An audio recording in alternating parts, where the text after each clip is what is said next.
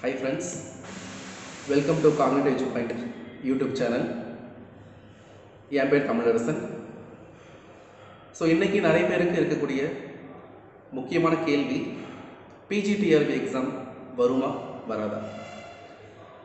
So இந்த கேள்விக்கு பதில் தேர்றதுக்கு முன்னாடி நம்ம பிஜிடிஆர்பியோட ரெண்டாயிரத்தி பதினேழு பிஜிடிஆர்பி ரெண்டாயிரத்தி பத்தொன்பது அந்த வரலாறை கண்டிப்பாக பார்க்கணும் பிஜிடிஆர்பி ரெண்டாயிரத்தி பதினேழில் நோட்டிஃபிகேஷன் வந்தது.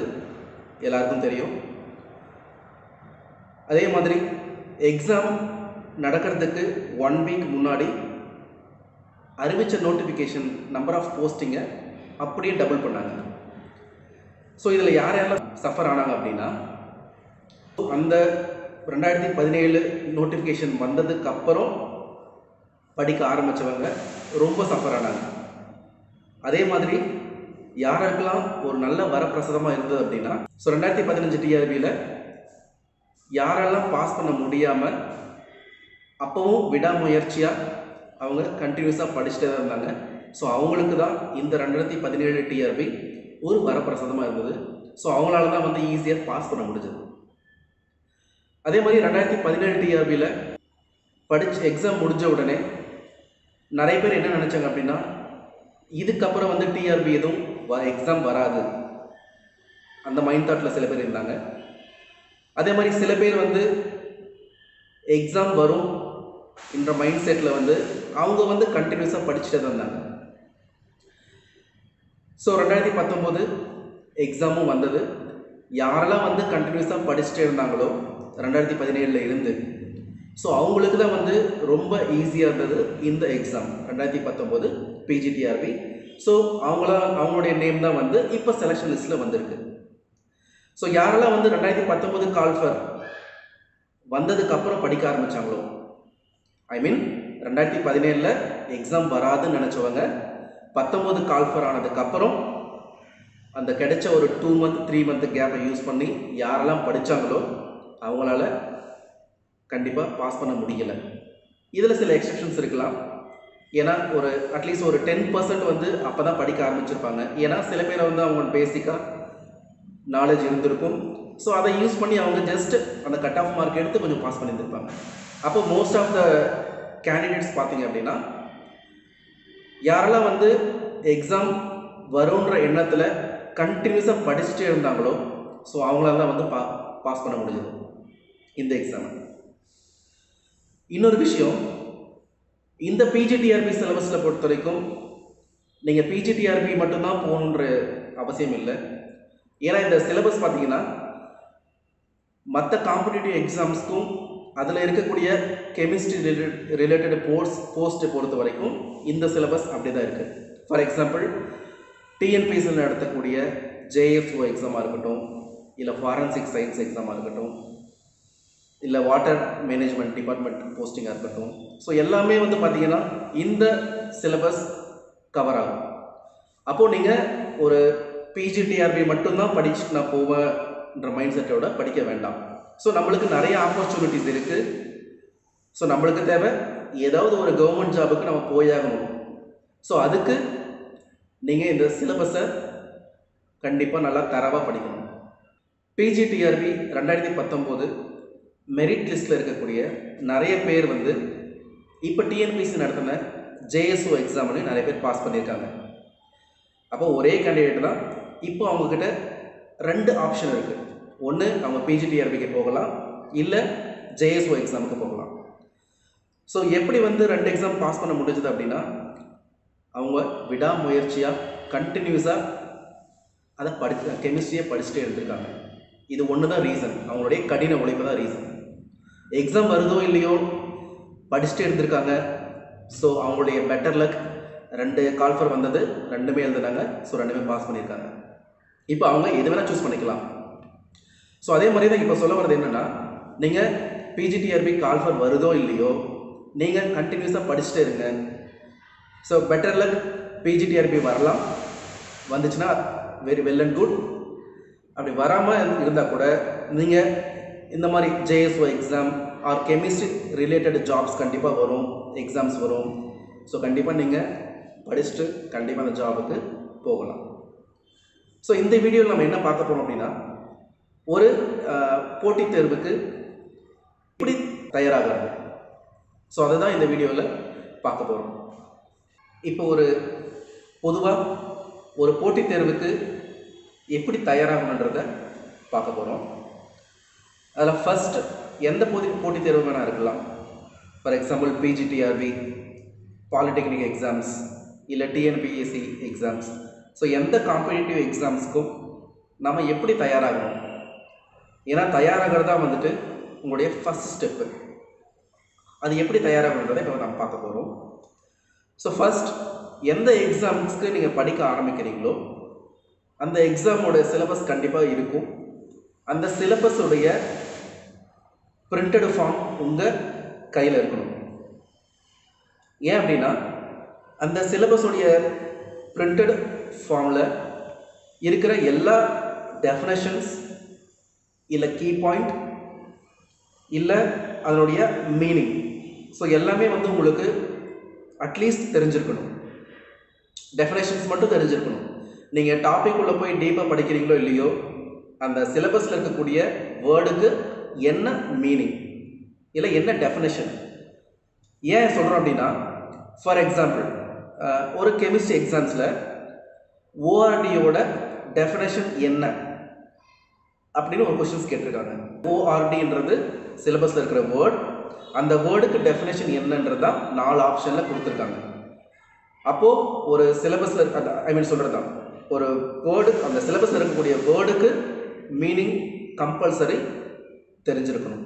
இன்னொரு எக்ஸாம்பிள் கூட இருக்குது அதே கெமிஸ்ட்ரியில் பார்த்தீங்கன்னா சில நேமிங் ரியாக்ஷன்ஸ் இருக்குது ஃபார் எக்ஸாம்பிள் ஃப்ரைஸ் ரீஅரேஞ்ச்மெண்ட் அப்படின்னா அந்த ரீஅரேஞ்ச்மெண்ட்டில் பொறுத்த வரைக்கும் ஒரு ரியாக்டன்ட் ஒரு கேட்டலிசிஸ் முன்னாடி இல்லை ஒரு ரியேஜென்ட் முன்னாடி ஒரு ப்ராடக்டாக கன்வெர்ட் ஆகும்.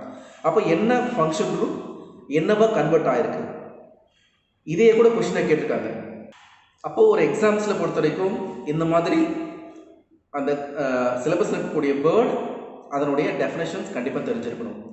இதை ஏன் நாங்கள் மறுபடியும் மறுபடியும் அழுத்தி சொல்கிறோம் அப்படின்னா ஒரு எக்ஸாமில் ஃபார் எக்ஸாம்பிள் ஒரு நூறு கொஷின் இருக்குன்னா ஒரு பத்து கொஷின் வந்து அந்த சிலபஸில் இருக்கக்கூடிய டெஃபஷ் டெஃபினேஷனுடைய கீவேர்டு தான் நம்மளுக்கு கொஷினாகவே கேட்குறாங்க அப்போ ஃபஸ்ட்டு நம்ம அதுக்கு ப்ரிப்பேர் ஆகணும். ஸோ பத்து மார்க் நம்மளுடைய எய்ம் இந்த மாதிரி டாப்பிக்கில் இருக்கும். ஸோ அதை ஃபஸ்ட் நம்ம வாங்கணும். ஸோ மீதி இருக்கக்கூடிய மார்க்குக்கு தான் நம்ம இன்னும் சப்ஜெக்டுக்குள்ளே போயிட்டு டீப்பாக படிக்கணும். ஸோ அதுக்கு எப்படி ரெடியாக ரெடி ஆகணுன்றத அடுத்தடுத்த ஸ்டெப்பில் இப்போ நம்ம பார்க்க போகிறோம் ப்ரிப்ரேஷனுடைய second strategy books and materials so ஒவ்வொரு சப்ஜெக்ட்டுக்கும் ஸ்டாண்டர்ட் ஆத்தரைஸ்ட் புக்ஸ் இருக்கும். ஸோ அந்த புக்ஸை வந்து நீங்கள் கலெக்ட் பண்ணி வச்சுக்கணும். புக்ஸ் வாங்க முடியாதுன்றவங்க அட்லீஸ்ட் அந்த புக்ஸை ஜெராக்ஸ் கூட பண்ணி வச்சுக்கலாம். அல்டிமேட் எய்ம் என்ன அப்படின்னா ஐ மீன் சிலபஸில் இருக்கக்கூடிய ஒவ்வொரு கீவேர்டுக்கும் உங்கள் கையில் அந்த ஸ்டாண்டர்ட் புக் ஜெராக்ஸ் காப்பியோ இல்லை புக்ஸோ கண்டிப்பாக இருக்கணும். சப்போஸ் வாங்க முடியாதவங்க அமௌண்ட் அவ்வளோ ஸ்பெண்ட் பண்ண முடிய முடியலைன்றவங்க நீங்கள் எதனா ஒரு மெட்டீரியல் கூட நீங்கள் யூஸ் பண்ணி படிக்கலாம். ஸோ அல்டிமேட்லி இந்த செகண்ட் ஸ்ட்ராட்டஜியில் உங்கள் கையில் சிலபஸில் இருக்கக்கூடிய எல்லா வேர்டுக்கும் ஸ்டடி மெட்டீரியல் உங்கள் கையில் இருக்கணும். ஸோ அது வந்து புக்ஸாக இருக்கட்டும் இல்லை எதனா ஒரு சென்டர் மெட்டீரியலாக இருக்கட்டும் இல்லை உங்கள் ஃப்ரெண்ட்ஸே ரெஃபர் பண்ணி எழுதின ஹேண்ட் மெட்டீரியல் நோட்ஸாக கூட இருக்கட்டும். நீங்கள் கலெக்ட் பண்ணி ஃபஸ்ட்டு வச்சுக்கோங்க. ஸோ ஒன்ஸ் நீங்கள் படிக்க ஆரம்பிக்கிறதுக்கு முன்னாடி உங்கள் சிலபஸில் எத்தனை யூனிட் இருக்கும் ஸோ எல்லா யூனிட்டோடைய மெட்டீரியல் உங்கள் கையில் இருக்கணும். ஏன்னா ஒன்ஸ் நீங்கள் படிக்க ஆரம்பிச்சிட்டிங்கன்னா படிக்கிறது மட்டும்தான் உங்கள் வேலையாக இருக்கணும். அதுக்கு படிக்க ஆரம்பிக்கும் போது நடுவில் போயிட்டு நான் புக் மெட்டீரியல் கலெக்ட் பண்ணுறேன் அப்படின்றது கண்டிப்பாக ஒரு டிஸ்டர்ப் மாதிரி தான் இருக்கும். ஸோ இனிஷியலாகவே நீங்கள் எல்லா மெட்டீரியலும் கலெக்ட் பண்ணி வச்சுக்கோங்க. உதாரணத்துக்கு கெமிஸ்ட்ரி பிஜிடிஆர்பி படிக்கிறவங்களுக்கு என்னென்ன புக்கு தேவைப்படுன்றத வீடியோ நம்ம ஆல்ரெடி பண்ணியிருக்கோம். அந்த வீடியோவோட லிங்க் இங்கே கார்டில் கொடுக்குறேன். இல்லை அதோடைய லிங்க்கை டிஸ்கிரிப்ஷன்லேயும் கொடுக்குறேன். மறக்காமல் போய் செக் பண்ணி பாருங்கள் புக்ஸ் மெட்டீரியல் கலெக்ட் பண்ணி வச்சதுக்கப்புறமா நம்ம அடுத்து செய்ய வேண்டிய முக்கியமான வேலை அந்த காம்படிட்டிவ் எக்ஸாமுடைய கொஷின் பேப்பர்ஸை கலெக்ட் பண்ணணும். ஏன் நம்ம கொஷின் பேப்பர் கலெக்ட் பண்ணணும் அப்படின்னா ஸோ ஒரு கொஷின் ஒரு காம்படிட்டிவ் எக்ஸாமில் அந்த கொஷின் பேப்பர்ஸை கலெக்ட் பண்ணி அதை நம்ம ஓரளவுக்கு ஒரு முறை வந்து செல்ஃப் அனாலிசிஸ் பண்ணணும். ஏன் செல்ஃப் அனாலிசிஸ் பண்ணணும் அப்படின்னா அப்போ தான் அந்த எக்ஸாமில் வந்து எந்த அளவுக்கு டீப்பாக கொஷின்ஸ் கேட்டிருக்காங்க. ஸோ எப்படிலாம் கொஷின்ஸ் கேட்டிருக்காங்கன்றத நம்மளுக்கு தெரிய வரும். ஃபார் எக்ஸாம்பிள் இங்கே ரெண்டு எக்ஸாம் கம்பேர் பண்ணலாம். ஒரு பிஜிடிஆர்பி கெமிஸ்ட்ரி இல்லை சிஎஸ்ஐஆர் கெமிஸ்ட்ரி கெமிக்கல் சயின்ஸ் இந்த ரெண்டு எக்ஸாம் கம்பேர் பண்ணோம் அப்படின்னா சிஎஸ்ஐஆர் எக்ஸாமில் பொறுத்த வரைக்கும் கொஷின்ஸ் வந்து ரொம்ப டிஃபிகல்ட்டாக வரும். ஏன்னா அவங்க ரிசர்ச் பேஸ் பண்ணி கொஷின்ஸ் எடுப்பாங்க. இப்போ வந்த ஜேர்னல்ஸில் இப்போ லேட்டஸ்ட்டாக வந்த கொஷின்ஸ் ரிசர்ச் ஆர்டிக்கல் ஸோ அவங்க அட்வான்ஸாக கொஷின்ஸ் கேட்பாங்க. ஸோ நிறைய க்ரியேட்டிவ் கொஷின்ஸ் இருக்கும். பட் இந்த பிஜிடிஆர்பி கொஷின்ஸ் பொறுத்த வரைக்கும் நம்ம ஸ்டாண்டர்டு புக்கில் என்ன பாயிண்ட்ஸ் இருக்கோ அதை மட்டும்தான் கேட்பாங்க. ஸோ ஏன் இங்கே இதை சொல்ல வரேன் அப்படின்னா நீங்கள் ஒன்ஸ் அந்த கொஷின் பார்க்கும்போது தான் என்ன டைப் ஆஃப் கொஷின்ஸ் கேட்டிருக்காங்கன்றத பொறுத்து உங்களுடைய படிக்கக்கூடிய ஸ்ட்ராட்டஜியை நீங்கள் கொஞ்சம் நீங்கள் மாற்றிக்கலாம் ஃபார் எக்ஸாம்பிள் டஃப்பாக கேட்குறாங்கன்னா உங்களுடைய ஸ்டடியோட எஃப் எஃபிஷியன்ட் வந்து ரொம்ப அதிகமாக இருக்கணும்.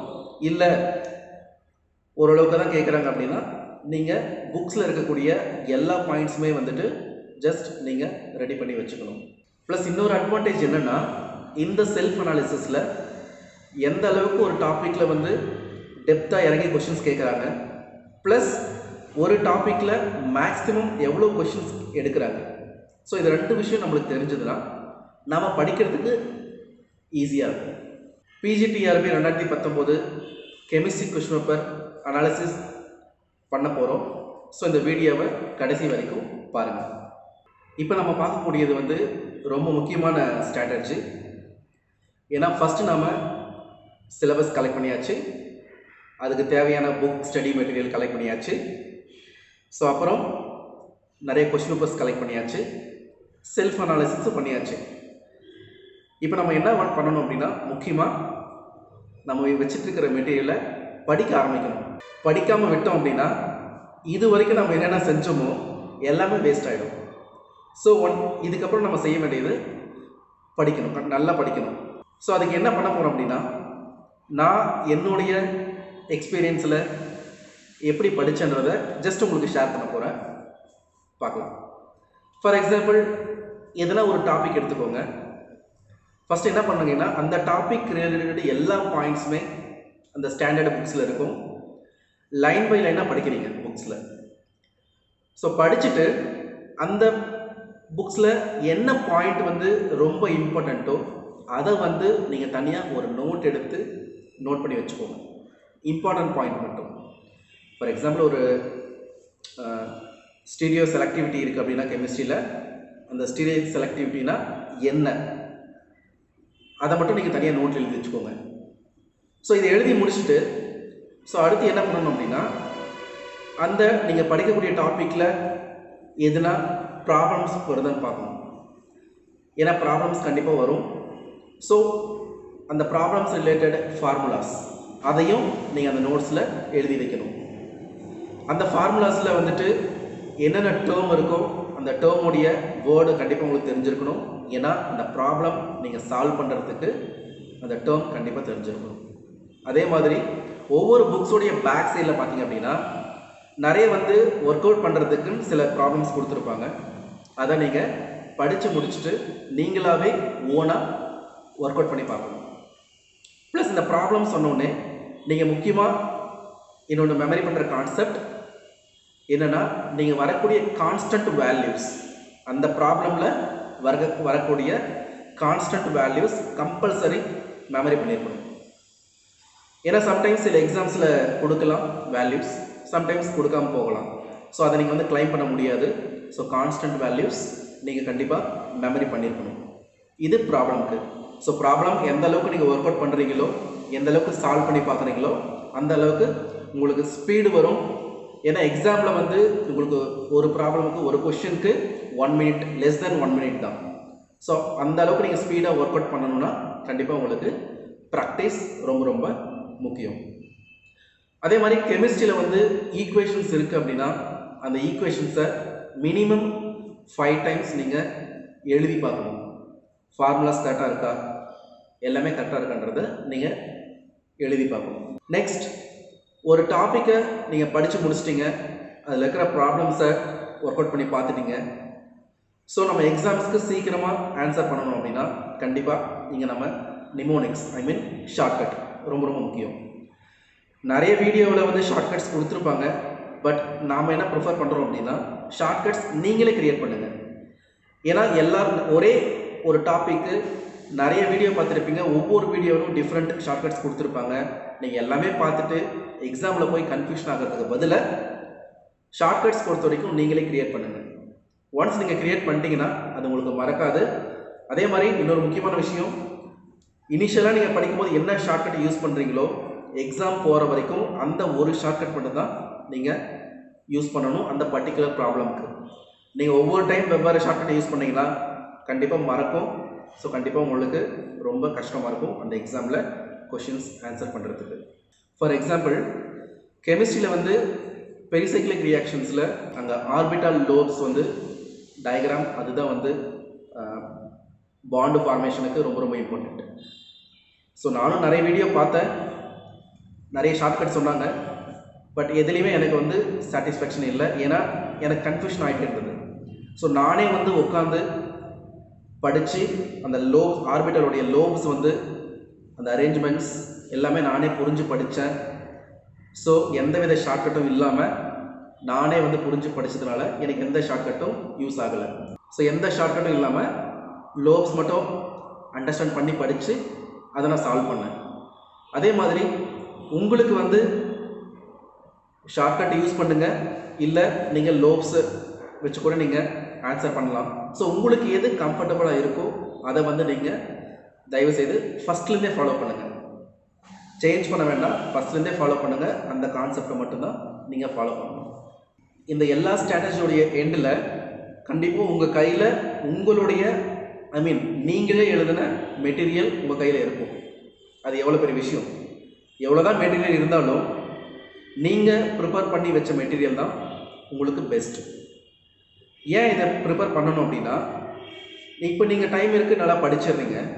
பட் எக்ஸாமுக்கு கடைசி நேரத்தில் வந்து நீங்கள் எல்லா புக்கும் வந்து நீங்கள் புரட்டிகிட்டு இருக்க முடியாது. ஸோ நீங்கள் எழுதி வச்ச மெட்டீரியலை நீங்கள் ஈஸியாக பார்த்து ரிவிஷன் பண்ணுறதுக்கு ரொம்ப ஹெல்ப்ஃபுல்லாக இருக்கும்.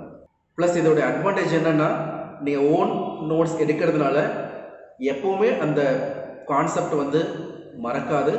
இது உங்களுக்கு ரொம்ப ரொம்ப ஒரு பெரிய அட்வான்டேஜ் ஸோ எக்ஸாமில் வந்து ஒரு ஷார்ட் டைமில் உங்களால் ஈஸியாக வந்து அந்த கொஷினுக்கு ஆன்சர் பண்ண முடியும். ஸோ இதுதான் இந்த ப்ரிப்ரேஷன் ஸ்ட்ராட்டஜியோட ரொம்ப ரொம்ப முக்கியமான பாயிண்ட் ஸோ மெட்டீரியல் கலெக்ட் பண்ணி நம்ம படித்து முடிச்சிட்டோம். ஸோ நம்ம எந்த அளவுக்கு படிச்சிருக்கோன்றத கண்டிப்பாக ஒரு மெஷர் பண்ணுற ஸ்கேல் தான் வந்து டெஸ்ட்டு ஸோ டெஸ்ட் எழுதுறதுக்கு நிறைய வழி இருக்குது ஆன்லைன் டெஸ்ட்டும் இருக்குது ஆஃப்லைன் டெஸ்ட்டும் இருக்குது ஃபார் எக்ஸாம்பிள் நீங்கள் ப்ரீவியஸ் இயர் கலெக்ட் நடந்த கொஷின் பேப்பர்ஸை நீங்கள் கலெக்ட் பண்ணி அதை ஓனாக டிசிப்ளினாக நீங்கள் டெஸ்ட் எழுதி பார்க்கணும். ஏன்னா ஒரு டெஸ்ட்டை நீங்கள் எழுதும் போது தான் அதில் என்னென்ன அட்வான்டேஜ் இருக்கும் அப்படின்னா அந்த பர்டிகுலர் டைமுக்கு உங்களால் எல்லா கொஷனுக்கும் கரெக்டாக ஆன்சர் பண்ண முடியுதான்ற ஒரு பாயிண்ட் உங்களுக்கு தெரிய வரும். அதே மாதிரி ஒரு டாப்பிக்கில் எந்த அளவுக்கு நீங்கள் ஸ்கில்லாக இருக்கீங்க எந்த அளவுக்கு உங்களுக்கு அப்ளிகேஷன் ஓரியன்ட் ஸ்கில் அதிகமாக இருக்குன்றதை உங்களால் தெரிஞ்சுக்க முடியும். ஸோ எந்தெந்த கொஷின்ஸ்க்கெலாம் வந்து நீங்கள் ஆன்சர் பண்ணும்போது மறந்துருச்சு இல்லை வீக்காக நான் ஃபீல் பண்ணுறேன் அப்படின்னு நினைக்கிறீங்களோ தயவு செய்து அந்த டாப்பிக்கை வந்து நீங்கள் நோட் பண்ணி வச்சுக்கோங்க.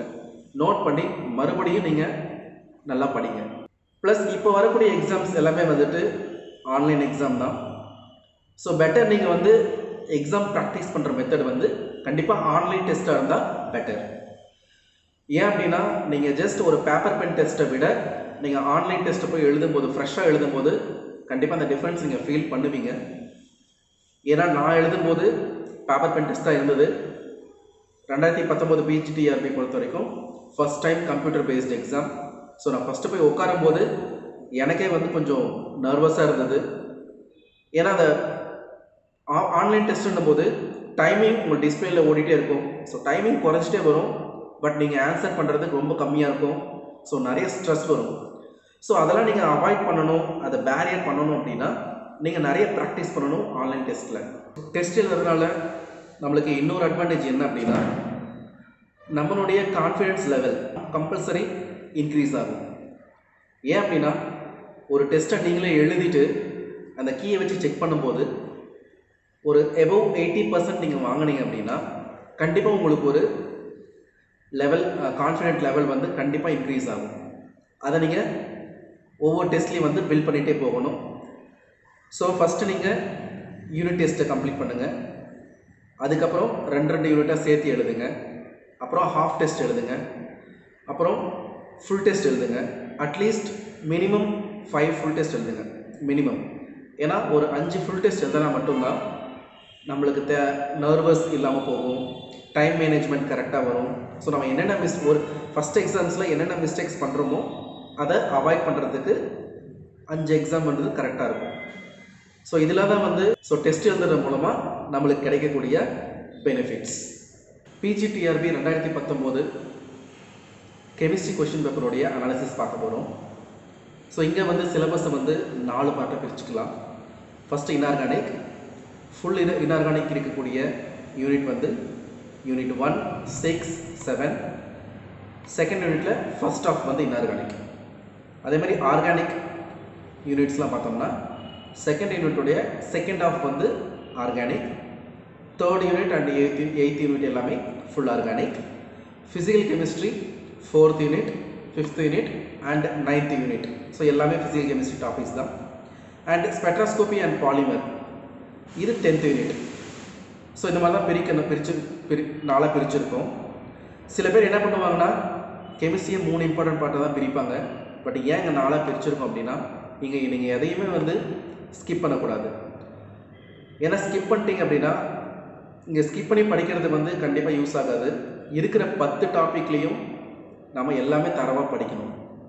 ஃபார் எக்ஸாம்பிள் ஒரு யூனிட்டை எந்த அளவுக்கு மா கொஷின்ஸ் கேட்டிருக்காங்க எவ்வளோ மார்க் கேட்டிருக்காங்கன்றத இப்போ நம்ம பார்க்க போகிறோம் அதை அதோட எண்டில் நீங்களே புரிஞ்சுப்பீங்க எந்த பட் பார்ட்டையும் நாம் மிஸ் பண்ணக்கூடாது அப்படின்ட்டு. ஏன்னா சில பேர் இன்ஆர்கானிக் ஆர்கானிக் மட்டும் படிச்சுட்டு ஃபிசிக்கல் ப்ராப்ளம் இருக்குது எனக்கு ஃபிசிக்கல் வராதுன்னு விட்டுருவாங்க. ஸோ அப்படிலாம் பண்ணக்கூடாது. ஸோ அதுக்காக தான் இந்த ஸ்ட்ராட்டஜி ஃபார் எக்ஸாம்பிள் பிஜிடிஆர்பி ரெண்டாயிரத்தி பத்தொம்போது கெமிஸ்ட்ரியில் ஃபஸ்ட் யூனிட்லேருந்து மட்டும் பதினோரு மார்க் கொஷின்ஸ் கேட்டிருக்காங்க. ஐ மீன் பதினோரு மார்க் யூனிட் டூவில் செகண்ட் யூனிட்டில் எட்டு கொஷின் கேட்டிருக்காங்க. நான் ஆல்ரெடி சொன்ன மாதிரி செகண்ட் யூனிட்டில் வந்து first half inorganic second half organic ஆனால் இங்கே செகண்ட் யூனிட்டில் கேட்டிருக்க எட்டு கொஷினுமே வந்து ஆர்கானிக்லேருந்து மட்டும்தான் கேட்டிருக்காங்க. இன்ஆர்கானிக்லேருந்து கொஷின்ஸ் கேட்கல ஸோ அதனால தான் சொல்கிறது ஒரு யூனிட்டில் வந்து எத்தனை பார்ட்டாக வேணால் இருக்கலாம். நீங்கள் எல்லா பார்ட்டுமே கம்பல்சரி நீங்கள் படிக்கணும். ஸோ எது கேட்பாங்க எது கேட்க மாட்டாங்கன்ற அஷூரன்ஸ் நம்மளால் கொடுக்க முடியாது. ஸோ அடுத்து யூனிட் த்ரீயில் பத்து கொஷின்ஸ் கேட்டிருக்காங்க. யூனிட் ஃபோரில் பதினாறு கொஷின்ஸ் கேட்டிருக்காங்க.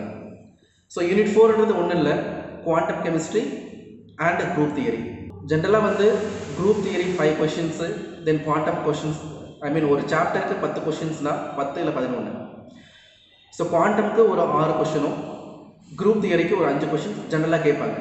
பட் இந்த ரெண்டாயிரத்தி பத்தொம்போது பிஜிடிஆர்பியில் வந்து குரூப் தியரி ஒரே ஒரு கொஷின்ஸ் தான் கேட்டிருக்காங்க. ஸோ மீதி பதினஞ்சு கொஷின்ஸ் வந்து குவாண்டம் கெமிஸ்ட்ரியிலேருந்து மட்டும் தான் கொடுத்துருக்காங்க. ஸோ இதுவுமே ஒரு எக்ஸாம்பிள் எந்த சிலபஸில் இருக்கக்கூடிய எந்த பார்ட்டையும் நம்ம ஸ்கிப் பண்ணக்கூடாது. எல்லாமே கரெக்டாக படிக்கணும். ஸோ ஃபோர்த் யூனிட்டில் பதினாறு கொஷின்ஸ் கேட்டிருக்காங்க. தென் யூனிட் ஃபைவ்ல பத்து கொஷின்ஸ் யூனிட் சிக்ஸில் பத்து கொஷின்ஸ் யூனிட் செவனில் பன்னெண்டு கொஷின்ஸ் கேட்டிருக்காங்க. தென் யூனிட் எயிட்டில் பன்னெண்டு கொஷின்ஸ் யூனிட் நைன் பன்னெண்டு questions unit ten nine questions தான் கேட்டிருக்காங்க. ஸோ இதுதான் வந்து அந்த பிஜிடிஆர்பியோடைய கெமிஸ்ட்ரியில் வந்து நம்மளுக்கு தெரியும் சிலபஸ் பேட்டர்ன் மேஜர் வந்து நூற்றி பத்து கொஷின்னு முப்பது சைக் சைக்காலஜி பத்து ஜிகே ஸோ இருக்கிற நூற்றி பத்துக்கும் நம்ம செல்ஃப் அனாலிசிஸ் பண்ணியாச்சு. ஒவ்வொரு யூனிட்டுக்கு எவ்வளோ மார்க் கேட்டிருக்காங்கன்றத செல்ஃப் அனாலிசிஸ் பண்ணியாச்சு. ஸோ இந்த செல்ஃப் அனாலிசிஸ் நம்ம என்ன இந்த எக்ஸாமில் பொறுத்த வரைக்கும் புரிஞ்சுக்க போகிறோம் அப்படின்னா ஃபிசிக்கல் கெமிஸ்ட்ரி தான் வந்து இருக்கிற மூணு டாபிக் மூணு யூனிட்ல இருந்து நிறைய மார்க்ஸ் ஃபிசிக்கல் கெமிஸ்ட்ரி தான் கேட்டிருக்காங்க. ஸோ அதுக்காக தான் சொன்னேன் ஃபஸ்ட்டே ஃபிசிக்கல் கெமிஸ்ட்ரி வந்து எனக்கு ப்ராப்ளம் சரியாக வராது என்னால் படிக்க முடியாது எனக்கு தெரியலன்றவங்க கண்டிப்பாக ஸ்கிப் பண்ணக்கூடாது.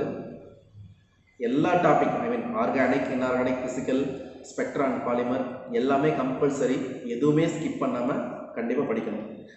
ஸோ அதே மாதிரி சில பேர் என்ன பண்ணுவாங்கன்னா எனக்கு ஆர்கானிக் மட்டும் தான் தெரியும். நான் ஆர்கானிக் மட்டும்தான் படிப்பேன். நான் இன்ஆர்கானிக் வந்து சும்மா கொஞ்சம் லைட்டாக படிச்சுக்கிறேன். ஃபிசிக்கல் நான் டச் பண்ண மாட்டேன். ஸ்பெட்ராஸ்கோப் எனக்கு தெரியவே தெரியாதுன்னு சொல்லுவாங்க. ஸோ அப்படி இருக்கிறவங்க கண்டிப்பாக பாஸ் பண்ணுறது ரொம்ப ரொம்ப கஷ்டம். பாஸ் பண்ணலாம்.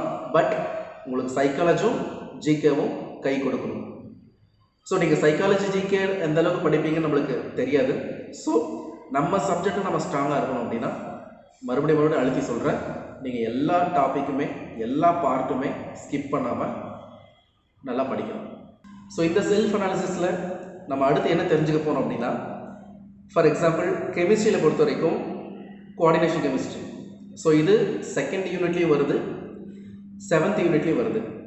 அப்போது அந்த கோஆர்டினேஷன் கெமிஸ்ட்ரி டாப்பிக்கில் கொஷின்ஸ் நிறைய கேட்கறதுக்கு சான்ஸ் இருக்குது அப்போ அந்த பாட்டில் வந்து நீங்கள் இன்னும் கொஞ்சம் டீப்பாக படிக்கணும் அதே மாதிரி தான் என்எம்ஆர் ஸ்பெக்ட்ராஸ்கோபி இது வந்து செவன்த் யூனிட்லேயும் இருக்குது டென்த் யூனிட்லேயும் இருக்குது ஸோ ப்ளஸ் ஆர்கானிக் காம்பவுண்ட்ஸ் ரிலேட்டடாக கூட சம் கொஷின்ஸ் கேட்குறாங்க அப்போது டோட்டல் மூணு டாப்பிக்கில் மூணு யூனிட்டில் இது வந்து கவர் ஆகிறதுனால இந்த என்எம்ஆர் பேஸ்டு கொஷின்ஸ் வந்து நிறைய கேட்குறதுக்கு I mean minimum three questions கேட்குறதுக்கு சான்ஸ் இருக்குது மினிமம் ஸோ இந்த மாதிரி ஒரு டாபிக் மோர் தென் ஒன் யூனிட்டில் இருக்கிற மாதிரி வந்துச்சுன்னா அதை நீங்கள் கம்பல்சரி நல்லா புரிஞ்சு படிங்க ஈஸியாக ஆன்சர் பண்ணுற மாதிரி படிங்க. ஏன்னா கொஷின் கேட்கக்கூடிய ப்ராபபிலிட்டி அந்த பர்டிகுலர் டாபிக் தான் அதிகமாக இருக்குது இப்போ சொன்ன மாதிரி என்ன மாதிரி கோஆர்டினேஷன் ஸோ அவ்வளோதான் இந்த அனாலிசிஸ் ஸோ ஒன்ஸ் இந்த கொஷின் அனாலிசிஸ் நீங்கள் பண்ணி முடிச்சிட்டிங்கன்னா தான் உங்களுக்கு எந்தெந்த டாப்பிக்கில் வந்து ரொம்ப கான்ஃபிடெண்ட்டாக இருக்கீங்க?